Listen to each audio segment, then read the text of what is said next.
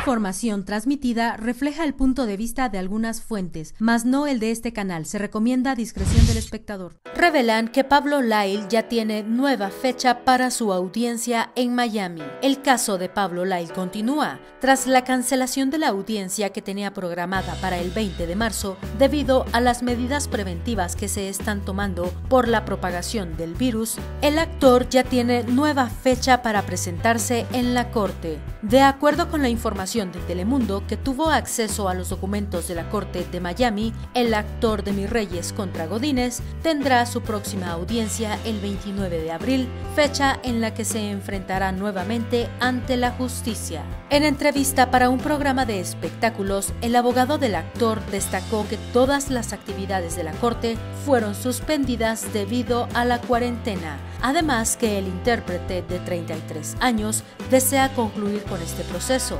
Está ansioso de dejar esto atrás, está ansioso de que todo esto termine. Cualquiera está triste cuando alguien fallece, dijo el abogado defensor. Según información de diferentes portales de noticias, esta sería la primera audiencia de Pablo Lyle desde que la nueva jueza de Miami, Marlene Fernández, lleva su caso, quien anteriormente le negó el permiso al actor de viajar a México mientras continuaba su proceso legal.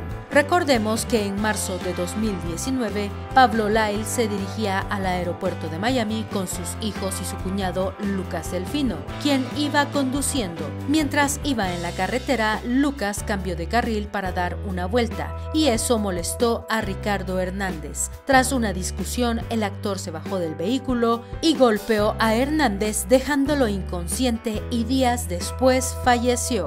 Tras estos acontecimientos, Pablo ha permanecido arresto domiciliario desde abril de 2019 y está enfrentando los cargos de homicidio involuntario. Aunque se esperaba que el caso terminara en los primeros días de 2020, la nueva jueza decidió tomarse el tiempo para revisar el expediente y dictar una sentencia. Suscríbete al canal y activa la campanita para recibir todas las notificaciones.